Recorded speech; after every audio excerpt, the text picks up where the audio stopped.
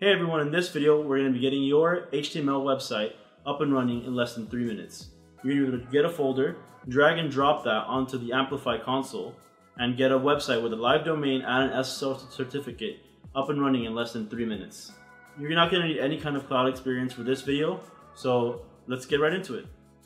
Alright, so in this video I'm going to be showing you how to create a static website uh, hosted on AWS Amplify. So I'm going to make this a bit larger so we can see what's going on.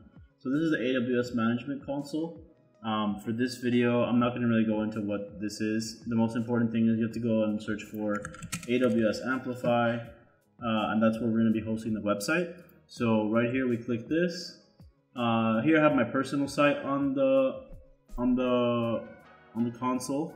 I'm going to make a new app, and then I'm going to host a web app. And here there's a lot of different options, but for this video, we're just going to be going with deploy without Git provider. Um, this could be a whole other video afterwards, but let's continue. Um, and here we're going to say sample app. We can call it whatever you want. Um, production, call it prod. And then here we're going to drag and drop. So we're going to choose our files. Let me see if I can get something up and running. I want to open a folder. Here. So this is VS Code.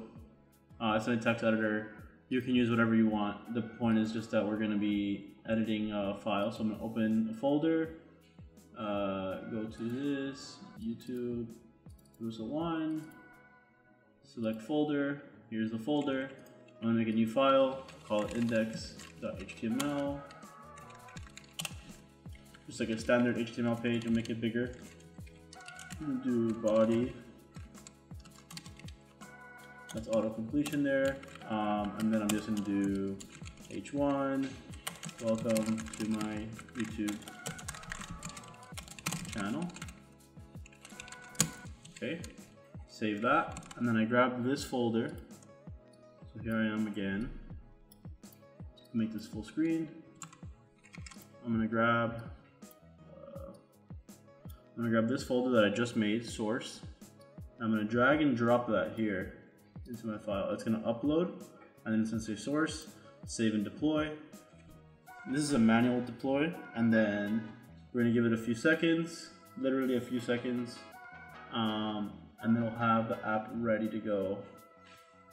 Here, deployment successful. Let's go to prod. Welcome to my YouTube channel.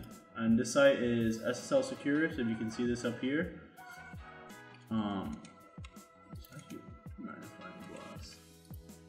Here it says prod, blah, blah, blah, blah, amplify app. So you give this URL to anybody and they can go to your, to your website.